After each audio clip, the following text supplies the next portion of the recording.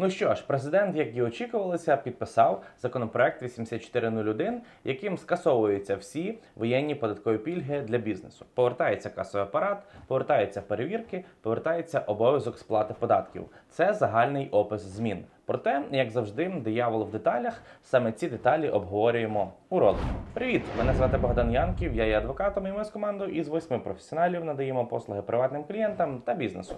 Обов'язково підпишись на мій YouTube канал, щоб отримувати повністю безкоштовні юридичні консультації. Контакти для запиту до мене за платними послугами знайдеш на ролику.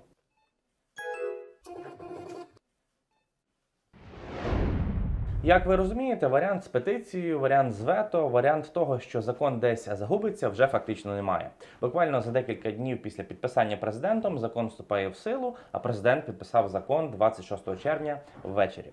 Це означає, що як і планувалося, нові податкові правила вступлять в силу з 1 серпня 2023 року. Також нагадаю, що в мене вже є на каналі дуже детальний огляд цього закону з посиланням на законодавство. Тому після цього відео для повноти розуміння також перегляньте попередній ролик. Спецгрупу, на якій можна було платити 2% єдиного податку та мати необмежений оборот, скасовано. Всі, хто перебуває на спецгрупі, буде мати можливість подати заяву та перейти на будь-яку іншу групу спрощеної системи оподаткування, або ж перейти на загальну систему оподаткування повністю за своїм вибором. Це означає, що треба повертатися до класичних довоєнних систем оподаткування. У законопроекті 8401 закладена одна специфіка з лімітом оборотів на спрощеній системі оподаткування, яку треба врахувати.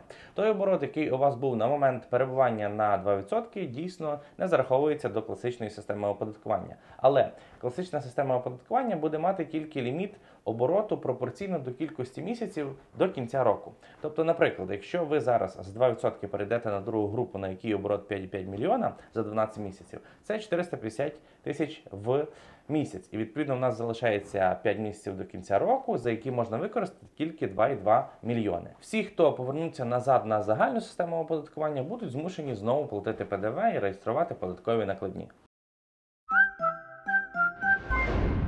ФОПи на першій другій групі будуть зобов'язані платити єдиний податок, починаючи з 1 серпня за кожен місяць. Проте зможуть не платити підприємці, податкова адреса яких знаходиться на територіях бойових дій або на територіях, які перебувають у тимчасовій окупації. Щоб перевірити, чи маєте ви право скористатися цією пільгою, треба перевіряти свою адресу згідно переліку кабінету міністрів, який затверджує перелік територій, на яких ведуться бойові дії. Посилання на цю постанову залишу в телеграм-каналі, щоб ви змогли ознайомитися із першоджерелом. Знаю, що є питання по Запоріжжі, Харкові, Херсоні і багатьох інших містах героях.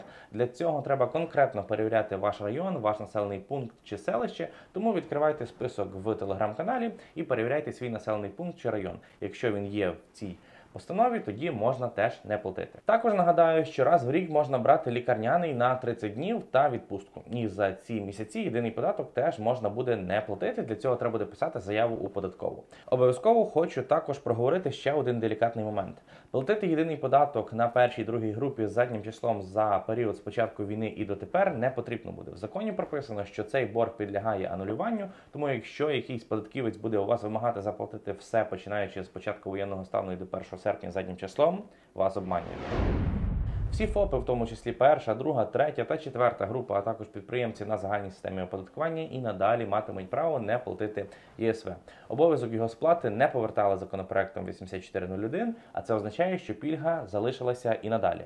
Також хочу заакцентувати, що жодних заявок якихось повідомлень подавати про те, щоб скористатися пільгою по несплаті ЄСВ, не потрібно. Вона діє автоматично по закону. Проте в річному звіті вам треба відобразити нульові нарахування, і тоді все максимально коректно пройде, і жодного боргу по ЄСВ нараховано не буде.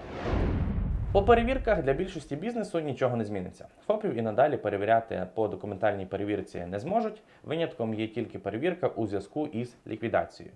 Вона можлива.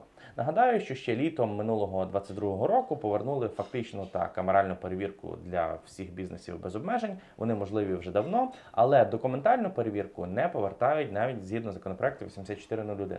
Для загальної системи оподаткування залишили теж мораторій на перевірку. Проте документальні планові перевірки зможуть проводити у дуже вузького кола бізнесів, які, по-перше, виробляють чи продають підакцизні товари, по-друге, які надають фінансові послуги, і по-третє, які проводять організацію азартних ігор. У них може бути перевірка. Тому, якщо податківці вам розказують, що з 1 серпня вони до вас прийдуть і все детально перевірять, кожен документ, то цьому теж навряд чи можна вірити. Закон документальні перевірки не повертає і треба знати свої права. Також тепер маємо фінальні правила роботи з касовим апаратом. З 1 жовтня касовий апарат стає обов'язковим. Все, що було до 1 жовтня, штрафів за відсутність касового апарату не буде.